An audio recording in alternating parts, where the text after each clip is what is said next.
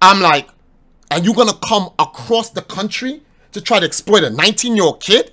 What is wrong with you? Stay over in Cali. Well, no, I I, I want to give him some presents. I have some um um some gifts I can give you give him guys. some gifts. You So know, I got a so ass van. now now now watch this. You know so funny? He exposed himself on YouTube. Cause if you go to seeing these YouTube videos, what did you see? How did you see Nick introduce himself? My man came with a bag of swag, a whole NES package bag, big bag too. Open it, he had pins, lanyards, you know, pictures, Twizzlers, Tootsie Rolls, Snicker bars. He you name loaded them up. He what did he give you? Oh, he gave me a bar of black soap. My nigga. My nigga, a bar of black soap? What the fuck does that mean?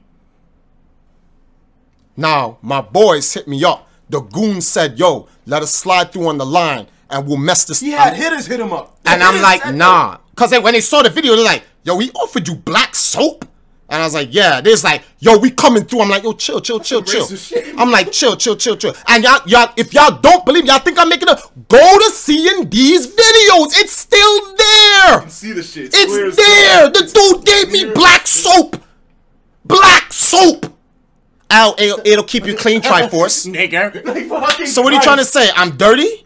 That's what you're trying to say? Man. You, you, Yo, it's a two-way insult. my man flew from Cali to give me soap. Two-way insult. Dirty ass, and you black, nigga. Yo, I had dudes that were they were ready. The goons were gonna come out on him. In fact, the sad part is two of the goons were there.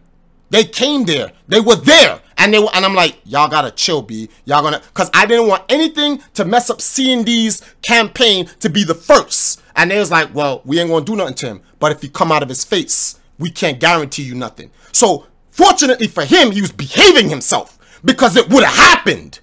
And this is not no video We game. wouldn't have been having this conversation. We wouldn't. Yeah, I'd be like, yo, what y'all doing? I'd have to stop them.